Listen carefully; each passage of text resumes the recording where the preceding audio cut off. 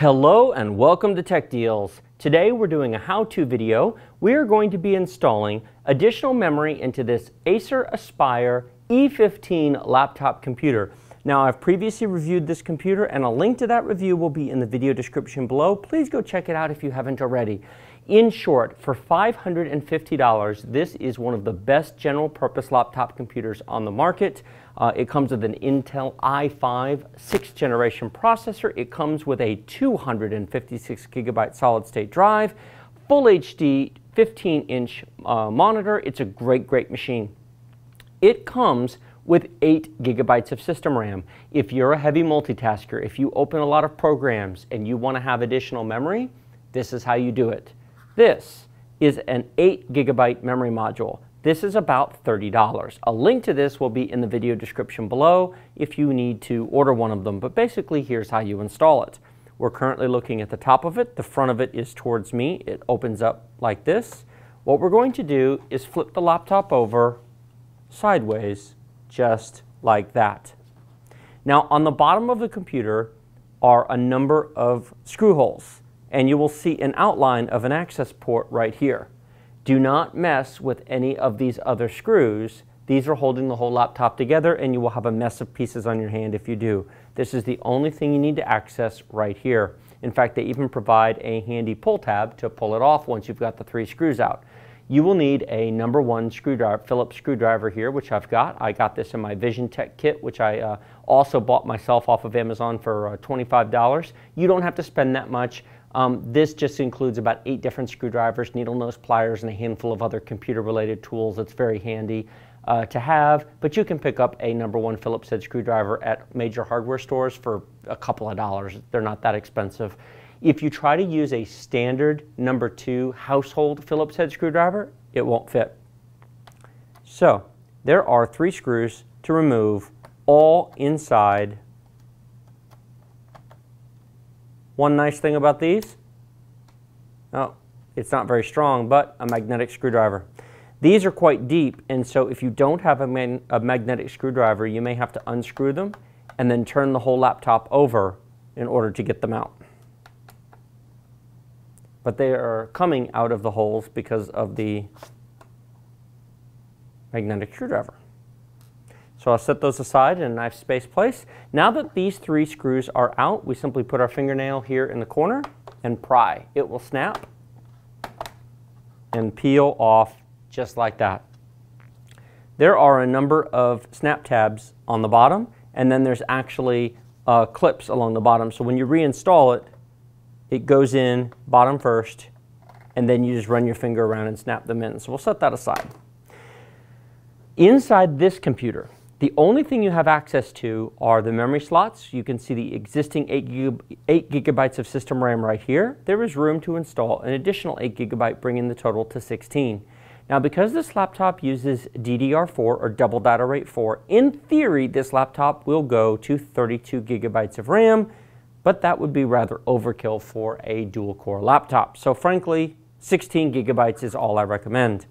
Um, next to that, you have your M2 solid state drive. This is the 256 gigabyte solid state drive the machine comes with. It is fully upgradable. There's a screw here. You simply undo it. It pops out, slides out. You can put a new one in if you want to get a bigger one in the future. No worries. We're not going to mess with that today. Over here is your hard drive bay. This is your two and a half inch uh, bay for a hard drive or solid state drive. Uh, I will show what to do with that in another video. So all we're going to do here is I'm going to open up my memory carefully so it doesn't go flying out. Lifetime warranty, oh goody. Will it fall out? Nope. Sometimes these memory modules are just held in by plastic. You don't want to bend it too much, obviously, but you got to flex the plastic to get it out. There we go. Now, these will look different depending on which one you buy. This has nice pretty stickers on it because G.Skill puts uh, it's a retail kit. It's designed for end consumers. This doesn't have a pretty sticker because frankly, almost no one ever is ever going to look at it, but it's the exact same thing. If you look along the bottom of the memory module, this part will look the same no matter what you get. There is a notch, not midway, not two-thirds over, but about, oh, that far over. It's different than DDR3. DDR3 and DDR4 are not interchangeable, so make sure that you buy DDR4 memory for this laptop. Other laptops I've reviewed had DDR3. It's different memory. Now, this is actually where it inserts along here, and you want to align the notch with the slot on the board because one side is smaller than the other. It does not go in vertical, it does not go in straight horizontal, it goes in at an angle just like so no force. That is a zero force insertion. It is quite literally just sits there.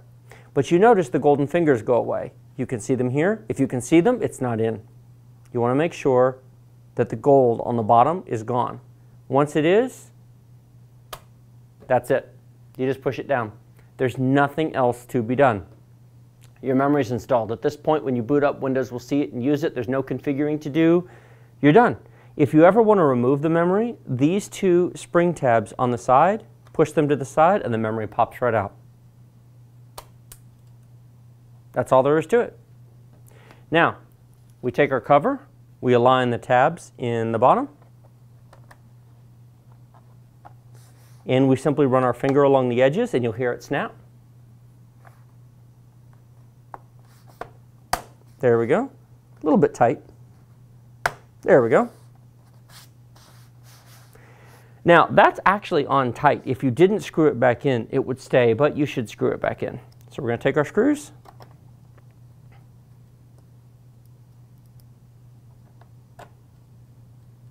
Screw it back together.